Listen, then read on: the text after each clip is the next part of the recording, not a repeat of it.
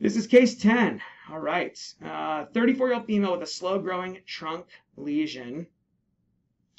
Let's see where the top of the skin is. Oh, let me wipe it off a little bit. Okay. So here's the skin surface up here. Here's our lesion down here. So what did you think uh, that this was? Uh, so it's a spindle cell lesion. Mhm. It's definitely dissecting down into the subcutaneous fat. Yeah, Um, way down, huh? Yeah. And um, looking at how it is, it's deeper than more than superficial, obviously. Mhm. And then down here um, has a little bit of a different pattern than the rest of it. Yeah, let's go over there. Yeah, it does. Um, so Yeah, it kind of has a, a variety of different appearances. Like the cellularity is a lot more down here, Right. right? And it's kind of almost making fascicles a little bit, kind of vaguely making fascicles. Over here, it gets much more like kind of fibrous and collagenous and less cellular. Some areas are solid, some areas have fat in it. right. All right, so what do you think it is? I thought this was a DFSP, and I was wondering if that part down there was a little bit different, was like a fibrosarcomatous transformation. Excellent job. Very good. Definitely this is DFSP, and we haven't even looked at the cytology really yet. Not much, right? But I'll tell you, this pattern, until you prove what else it is, DFSP has got to be on your list. And there are a few other things that can trap fat like this, but this is the fat trapping we're talking about for DFSP. Not like a little bit of, you know, pushing down the fat. We're talking about islands, clusters of fat stranded and squished in the middle of the tumor, right? And I wish I could go lower power to show you, but like, look, this is the person's normal skin. Epidermis, dermis, here, right around where the eccrine coils are, that's where the subcutis starts. The, the dermal subcutaneous junction is right around where the eccrine coils live. So if you ever have something that's all tumor and you can't tell it, once you see the eccrine coils, you know you're getting pretty close to the subcutis. So it's a nice, useful, um, normal histology clue. And then normally, the subcutis is fat, right? With the exception of the fibrous um, septa in between the lobules of adipocytes, which we often don't see big enough chunks of fat to be able to see those lobules. But then over here, you can see that the, this is all used to be subcutis, and it's been wiped out by tumor. This stuff here wasn't dermis. This was subcutis, and it's wiped out everything and only left a few little stranded adipocytes, or what's even more helpful, these clusters, little clumps of adipocytes that are being squeezed to death, right? They're just being choked out by the tumor. Okay, so that's the way I think it's so helpful is that the, the used to be pristine subcutaneous real estate wiped out and overrun by the spindle cells. Okay, and the spindle cells of DFSP, down here is probably the best place, are thin, elongated, and bland. They look almost neural a lot of times, and it can be very easy to confuse this tumor with a, the diffuse type of neurofibroma, which also can intermingle with fat and also stains with what is this tumor stain with again? Uh, so this will stain with CD34. CD34, right. And so do neurofibromas, by the way. So so if you need to tell them apart, use an S100. I used to say you would never see S100 in a DFSP, but I have actually seen one case now, confirmed with molecular, that had patchy but strong S100 staining, which was really shocking. And it was a fibrosarcomatous DFSP. I just uh, saw that this year, actually. So that's was totally mind-blowing for me. The more you do this stuff, you'll eventually see all the rules get broken. I think that's if you're a pathologist long enough. All the book pages will have exceptions on them. So, but the cells do not look atypical, right? And that's what sometimes people get confused. They see an ugly pleomorphic thing in the skin and they think could be DFSP. And that tells me they've never seen a DFSP before. Because DFSP do not have pleomorphism with the very, very rarest of case reportable exceptions. I've seen one time a case that was radiated and got some wild pleomorphism. And there was a case, I think, from Spain that got published that they confirmed, but it looked like a pleomorphic sarcoma, like UPS, but it was molecularly proven. So rare stuff happens, but for practical purposes, 99.99999% of these are going to be bland because they're translocation sarcomas, aren't they? So, and then that we always teach that what these have is a, uh, a really striking swirled whorled story form pattern. But sometimes you can get kind of some vague fascicles. They really can run a range of features. When you get nice storiform pattern, it's great. But you don't always have that. I mean, but look, would you ever look at a picture of this and think, oh, is it sarcoma? No. No. It sure doesn't look malignant, right?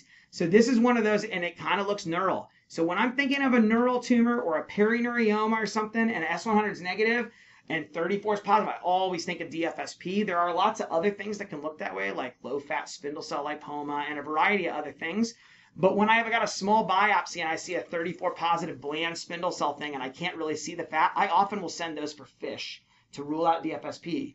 Because, you know, if most of the differential will be benign things, but if it's DFSP, they're going to go do a huge surgery, either Mohs or a wide local excision with a couple centimeters of margin, big surgery. So um, even though these don't usually metastasize or cause the patient to die, which is good, they can be locally aggressive and the surgeries can be very morbid. And I, am in a couple of DFSP patient support groups on Facebook, and I've seen the, the very dramatic scars these patients have, and it really made me um, have a greater respect for this tumor.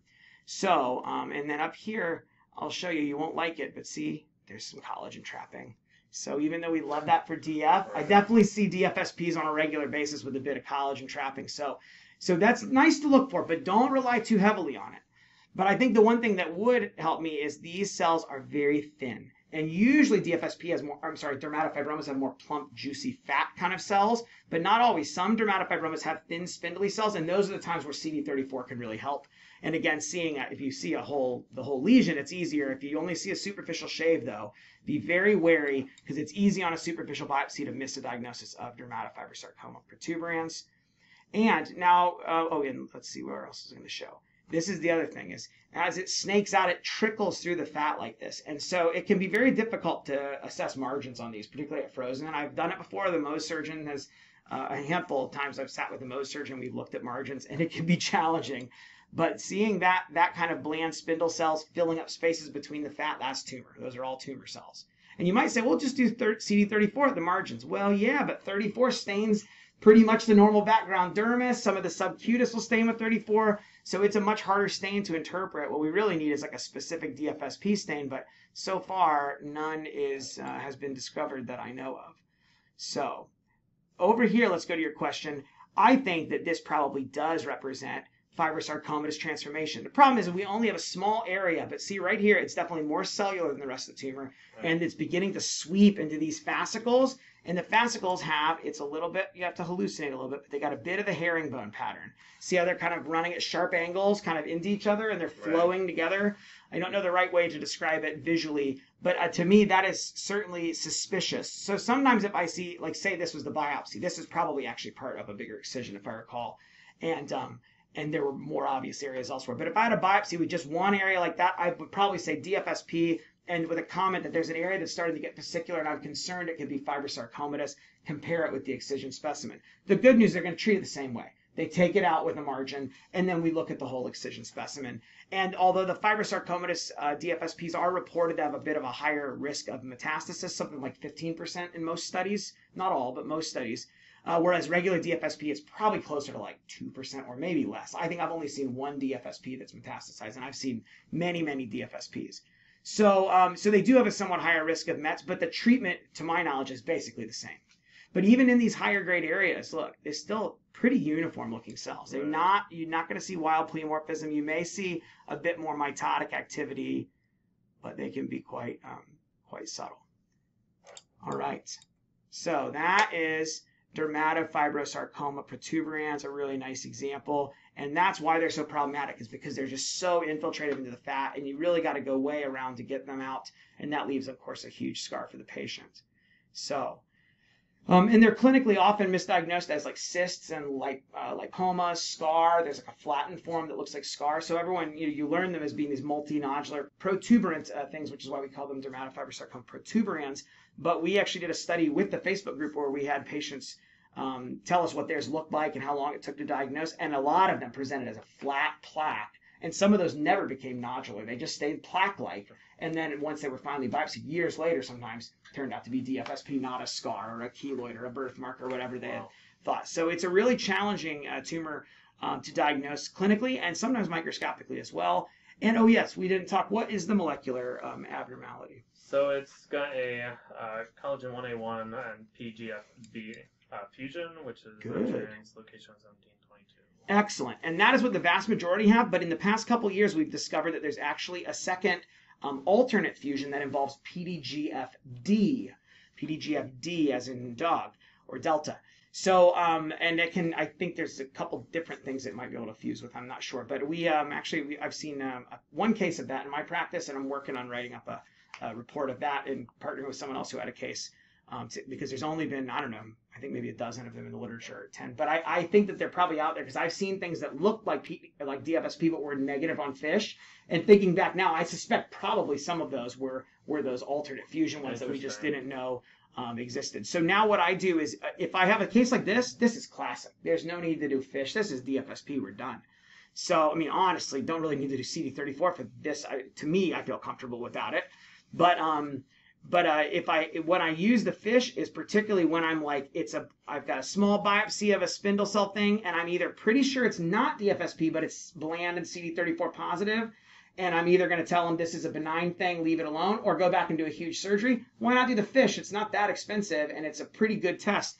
So that's when I'll use FISH. Or again, when I've got a, a biopsy that I'm pretty sure is DFSP, but I can't really see any fat trapping because they just did a punch biopsy. I want to definitively prove it so they can go straight to definitive surgery. I feel like telling them go back and get me a bigger biopsy. Sometimes that'll work, but other times it may not still solve the problem. And then we're now after two biopsies are done, now we're still debating what to do. And I figure I'll just do the FISH, and a week later we got an answer. So for obvious cases, no problem, but for small biopsies or difficult cases um, where where you've done your 34 and it's positive and you're still not sure, the FISH can be really helpful. And if I do, if I'm sus- suspicious enough to do FISH, and it comes back as uh, negative for collagen 1A1 PDGFB, then I'll reflexively just go straight to do PDGFD just in case uh, since I have seen that one. And that one I actually had a low index of suspicion for. I was like, it probably is not, but I didn't know what else to do with it. And I did the FISH and I couldn't believe that it was positive. So it was a real learning lesson for me and very humbling.